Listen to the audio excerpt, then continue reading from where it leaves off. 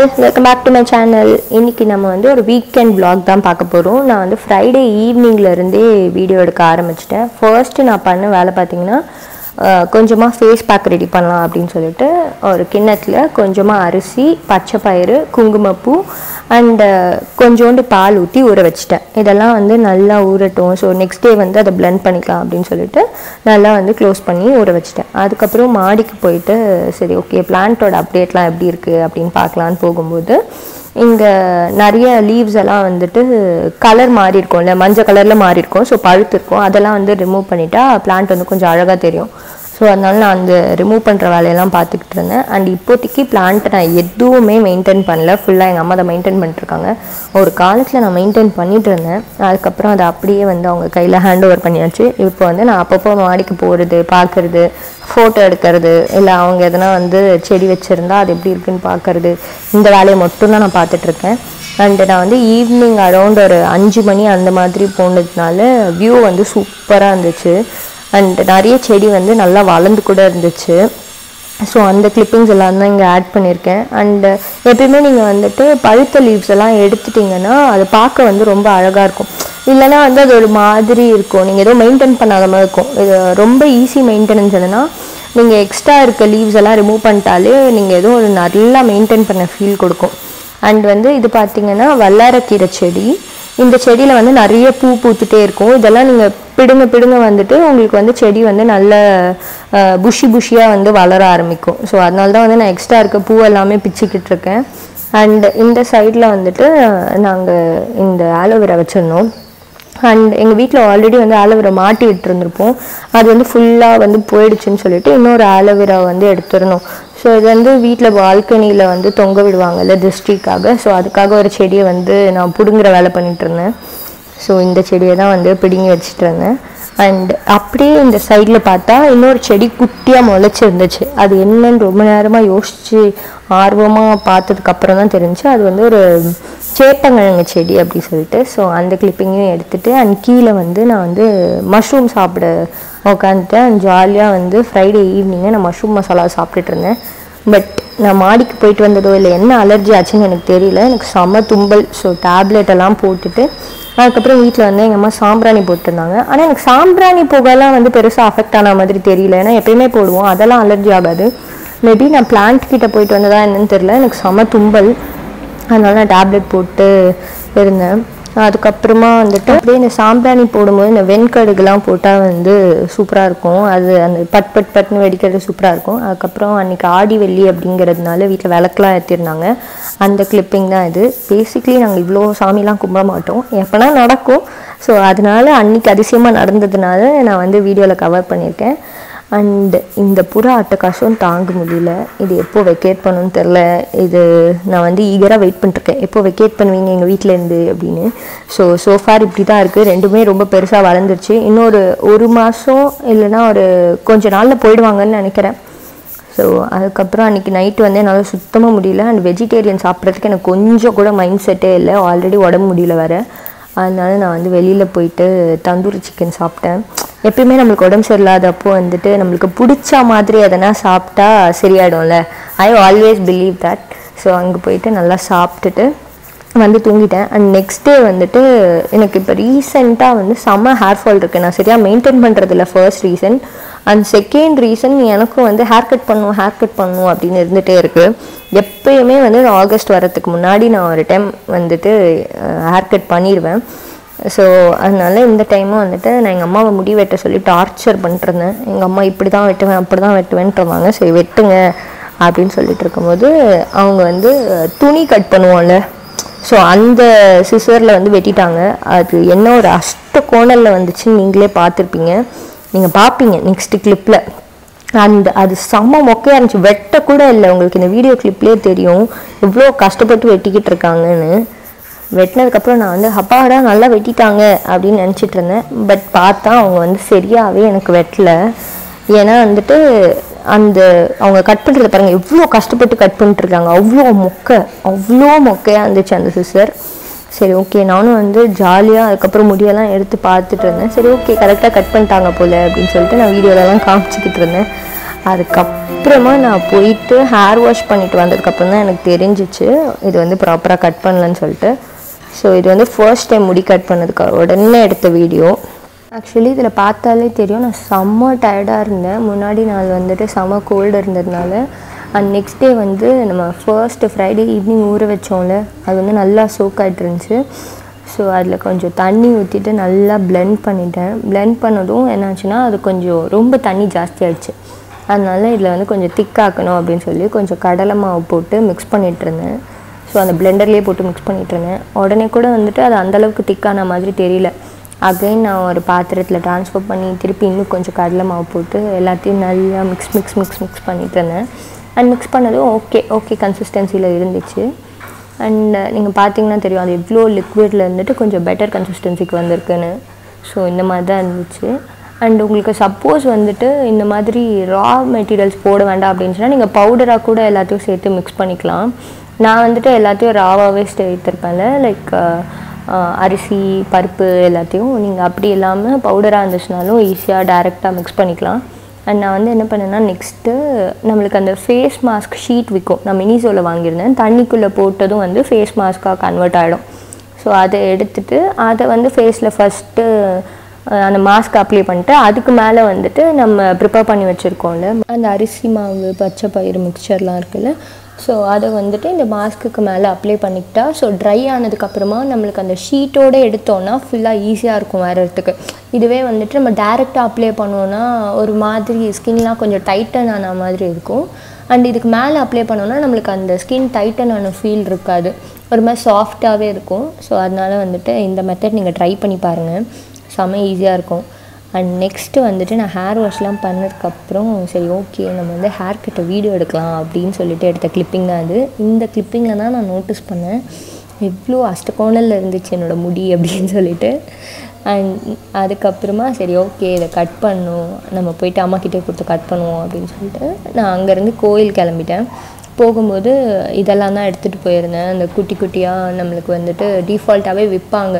அந்த நெய் அகர்பத்தி எல்லாமே. ஸோ அதை எடுத்துகிட்டு போனால் கொஞ்சம் ஈஸியாக இருக்கும். ஸோ அதை எடுத்துகிட்டு போயிட்டு அதுக்கப்புறம் அகைன் போயிட்டு எங்கள் அம்மாவை பிடிச்சி அகைன் ஒழுங்காக ஹேர் கட் பண்ணுங்கள் அப்படின்னு சொல்லி ஹேர் கட் பண்ணிவிட்டு அதுக்கப்புறம் அங்கேயே வந்துட்டு நான் கோயிலேருந்து வரும்போது நான் பேங்கிள் வாங்கியிருந்தேன். ஸோ அந்த கிளிப்பிங் தான் அது? இப்படியே ஹேர் கட் மாற்றி பண்ணி மாற்றி பண்ணியே வந்துட்டு எனக்கு சாட்டர்டே முடிஞ்சிருச்சு. அண்ட் சண்டே வந்துட்டு நாங்கள் புதுசாக இப்போ ஒரு சிட்ரிக் ஜூஸ் பிளெண்டர் வாங்கியிருந்தோம்.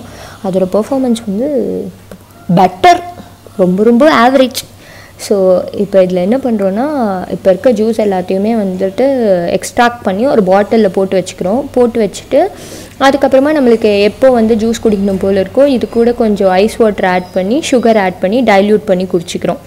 ஸோ இந்த மாதிரி பண்ணிட்டு இருந்தோம். ஸோ அந் அதனால தான் வந்து மொத்தமாக எல்லா சாத்துக்கொடியும் கட் பண்ணி ஜூஸ் பண்ணிகிட்டு இருந்தோம்.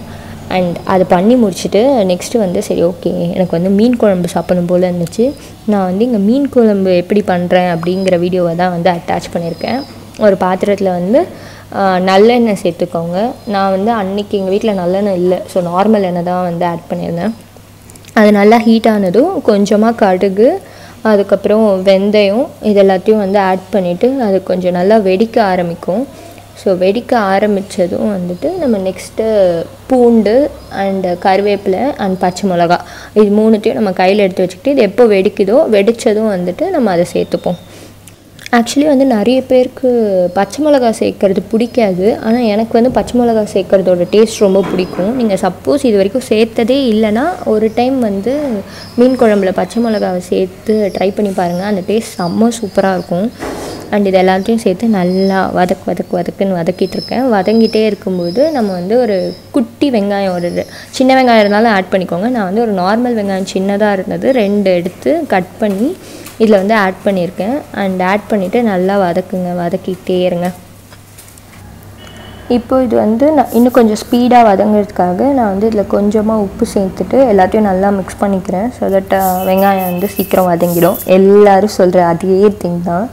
நானும் இங்கே சொல்லியிருக்கேன். அண்ட் தக்காளியை வந்து நான் ரொம்ப பார்த்து பார்த்து பொடி பொடியாக கட் பண்ணிட்டு இருந்தேன் அன்றைக்கி ஆக்சுவலி எங்கள் அம்மா வந்து என்ன சொன்னாங்கன்னா தக்காளி வந்து ரொம்ப காஸ்ட்லியாக இருக்குது பேசாமல் தக்காளி போடாமல் மீன் குழம்பு வச்சுறேன் அப்படின்ட்டு இருந்தாங்க எனக்கு வந்து உங்களோட இதுக்கு ஒரு எல்லையே எல்லாம் போய்கிட்டு இருக்கு பாருங்கள் அப்படிங்கிற மாதிரி இருந்துச்சு.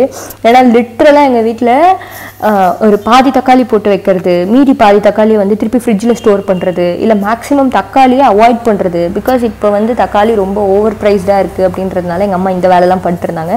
மேபி அன்னைக்கு அவங்கள வந்து நான் இந்த மீன் குழம்பு வைக்க விட்டுருந்தேன்னா கண்டிப்பாக தக்காளி போடாமல் தான் வச்சுருப்பாங்க. நான் வைக்கிறேன் அப்படிங்கிறதுனால நான் போய் வாங்கிட்டு வந்து வச்சேன். அப்போவே வந்து எனக்கு கொஞ்சம் பயமாக தான் இருந்துச்சு. என்னடா இது இவ்வளோ காஸ்ட்லியாக இருக்குது ஏன்னா அன்றைக்கி வந்து ஒரு கிலோ டூ ஹண்ட்ரட் ருபீஸோ அதுவும் நான் வந்து சரி ஓகே மீன் குழம்பு டேஸ்ட்டாக இருக்கணும் அப்படிங்கிறதுக்காக வெங்காயம் நல்லா வதங்கினதும் நான் வந்து பொடி பொடியாக நறுக்கி வச்சுருக்க தக்காளியை வந்து ஆட் பண்ணிவிட்டு எல்லாத்தையும் நல்லா வந்து மிக்ஸ் பண்ணிட்டுருந்தேன் அண்ட் மிக்ஸ் பண்ணிவிட்டு நீங்கள் என்ன பண்ணுங்கள் ஒரு பாத்திரத்தை எடுத்து மூடி போட்டு ஒரு டூ டு த்ரீ மினிட்ஸ் வச்சுருங்க. ஸோ தட் அது வந்து நல்லா அந்த தக்காளி வந்து நல்லா மேஷி மேஷி கன்சிஸ்டன்சி வரும். இப்போ ரெண்டு நிமிஷத்துக்கு அப்புறமா நீங்கள் ஓப்பன் பண்ணி பார்த்தா தக்காளிலாம் வந்து கொஞ்சம் நல்லா வெந்திருக்கும். இதை வந்து கொஞ்சம் கரண்டியாலே நல்லா மசிச்சு விட்டுக்கோங்க. மசிச்சுட்டு இப்போ இதுக்கு தேவையான பொடி எல்லாத்தையும் நம்ம சேர்த்துக்கலாம். ஸோ ஃபர்ஸ்ட்டு வந்துட்டு கொஞ்சமாக மஞ்சத்தூள் அண்டு நெக்ஸ்ட்டு uh, வந்துட்டு uh, நம்ம வீட்டில் குழம்பு மிளகாய் தூள் அரைச்சி வச்சுருப்போம்ல தனியாத்தூளும் மிளகாத்தூளும் மிக்ஸ் பண்ணி ஸோ அந்த பொடி வந்துட்டு நான் ஒரு நாலு டீஸ்பூன் போட்டிருக்கேன்.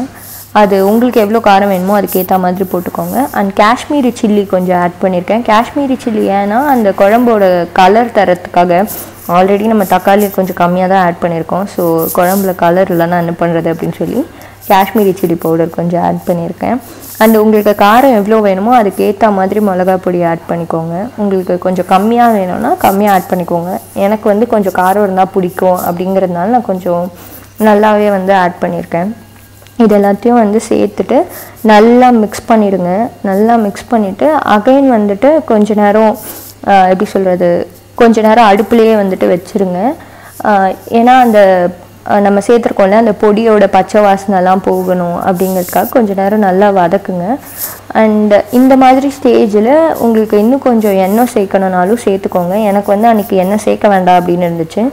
அண்ட் எனக்கு காரம் ரொம்ப பிடிக்கும் அப்படின்றதுனால நான் அகைன் வந்துட்டு கொஞ்சம் மிளகா பொடியை சேர்த்து எல்லாத்தையும் வந்து மிக்ஸ் பண்ணிக்கிட்டு இருந்தேன். அண்ட் கொஞ்சம் பச்சை வாசனை போகிற ஸ்டேஜ் வர வரைக்கும் வதக்கிட்டே இருங்க.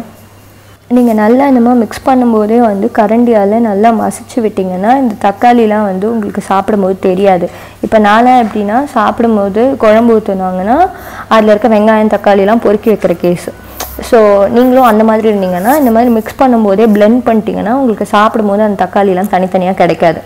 அண்ட் இதெல்லாம் வந்து நல்லா மிக்ஸ் ஆகி அந்த பச்சை ஸ்மெல்லாம் போகிற ஸ்டேஜில் நம்ம கரைச்சி வச்சிருக்க புளி தண்ணி இதில் சேர்த்து எல்லாத்தையும் நல்லா மிக்ஸ் பண்ணுங்கள் மிக்ஸ் பண்ணிவிட்டு ஒரு மூடி போட்டு வச்சுருங்க. ஸோ தட் கொஞ்ச நேரம் இது நல்லா கொதி வரணும். கொதி வர அளவுக்கு கொஞ்ச நேரம் அப்படியே சட்டெலாம் மூடி போட்டு வச்சுருங்க. ஸோ இப்போ கொஞ்ச நேரம் கழித்து நீங்கள் ஓப்பன் பண்ணிங்கன்னா குழம்பு வந்து நல்லா கொதிச்சிக்கிட்டு இருக்கும். சப்போஸ் உங்களுக்கு இந்த ஸ்டேஜில் வந்து உப்பு வேணும் அப்படின்னா இதில் கொஞ்சம் உப்பு ஆட் பண்ணிக்கோங்க. இல்லை குழம்பு கொஞ்சம் திக்காக இருக்க மாதிரி இருந்தால் கொஞ்சம் தண்ணி வேணும்னா தண்ணி ஆட் பண்ணிக்கோங்க. உங்களுக்கு என்ன மாதிரி கன்சிஸ்டன்சி வேணுமோ இந்த டைமில் வந்து நீங்கள் பார்த்துக்கிட்டிங்கன்னா உங்களுக்கு கரெக்டாக இருக்கும். அண்ட் எனக்கு வந்து எல்லாமே ஓகே அப்படிங்கிறதுனால இந்த ஸ்டேஜில் வந்து நான் வந்து மீன் ஆட் பண்ணிட்டேன். அன்றைக்கி வந்து நான் என்ன மீன் வாங்கியிருந்தேன்னா கிழங்கா மீன் வாங்கியிருந்தோம்.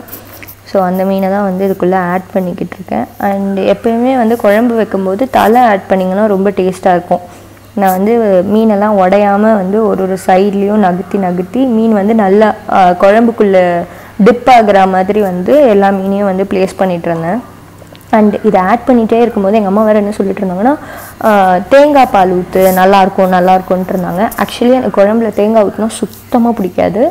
அண்ட் அவங்க வந்து தேங்காய் பால் தான் ஊற்ற போகிறோம் ஸோ டேஸ்ட் நல்லாயிருக்கும் அந்த தேங்காயோட அந்த திப்பி திப்பியாக இருக்கிறதெல்லாம் வந்து உனக்கு தெரியாது. தேங்காய் பால் ஊற்று அப்படின்னு சொல்லிட்டே இருந்தாங்க. சரி சரி இவங்களும் ரொம்ப நேரம் சொல்லிகிட்டே இருக்காங்களே அப்படின்னு சொல்லிட்டு நான் கொஞ்சமாக ஃபர்ஸ்ட்டு ஆட் பண்ணேன். ஆட் பண்ணது எங்கள் அம்மா பத்தாது இன்னும் கொஞ்சம் ஆட் பண்ணு அப்படின்ட்டு இருந்தாங்க. திரும்பி இப்படியே பார்த்துட்டு சரி ஓகே அப்படின்னு சொல்லி இன்னும் கொஞ்சம் ஆட் பண்ணேன். அண்ட் ஆட் பண்ணிவிட்டு எல்லாத்தையும் அப்படியே லைட்டாக அந்த மீன் வந்து உடையாத மாதிரி லைட்டாக வந்துட்டு மிக்ஸ் பண்ணிவிட்டு மூடி வச்சிட்டேன்.